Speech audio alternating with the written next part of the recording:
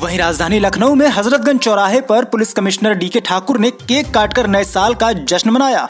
इस खास मौके पर कमिश्नर डी के ठाकुर ने joint police commissioner law and order Naveen Arora को केक खिलाया।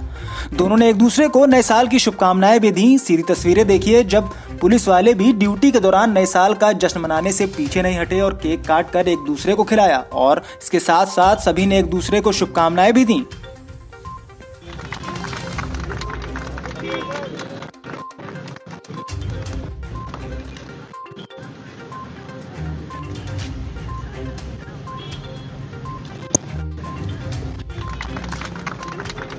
हर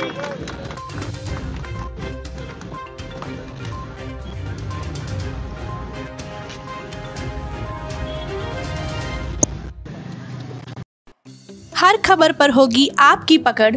सब्सक्राइब करिए हमारे चैनल विद्रोही आनंद को और बेल आइकॉन दबाना न भूलिए।